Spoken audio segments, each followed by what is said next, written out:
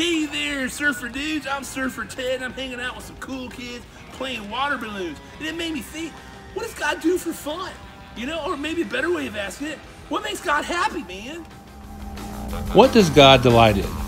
Psalm 46 through 8 says that God wants people to delight in doing His will and walking in obedience.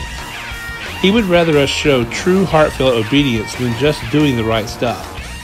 Making sacrifices and giving offerings without the right heart attitude is simply going through the motion. There is no joy in going through the motion.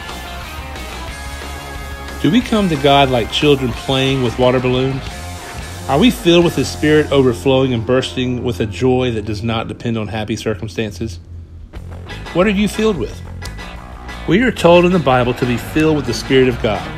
Galatians 5:23 and 24 says that the fruit of the Spirit is love, joy, peace, patience, kindness, goodness, faithfulness, gentleness, and self-control. Are you full of these?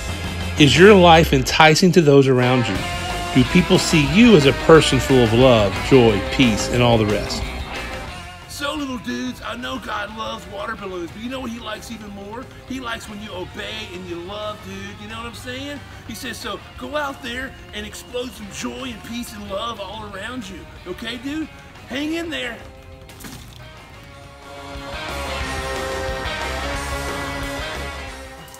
And ten, dude.